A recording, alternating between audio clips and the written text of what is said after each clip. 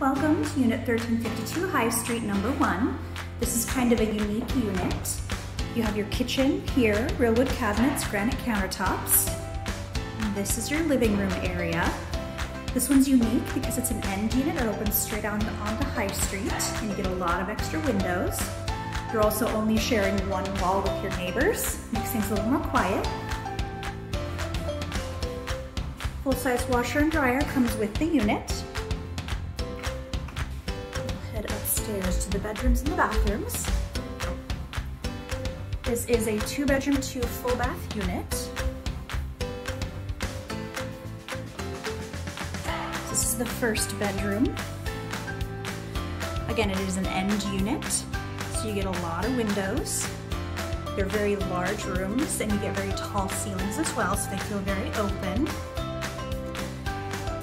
Each room has its own heater in it, so you can pinpoint where your energy is going, dial that power bill in. And this is your first full bath.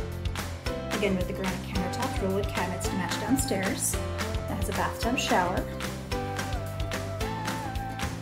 Now we'll head up to the third floor. It's where the second bedroom and second full bath are. You also get these nice windows of the stairs. Makes it feel more open. Up here you have this little kind of sitting area. And downstairs of those windows. This is the second bedroom, just like the first. Lots of windows, lots of light, tall ceilings, and the individual heater. Also, the closets have mirrored doors makes it feel a little more open. And then your second full bath. There's only one unit like this one, so let us know ASAP if you have any questions.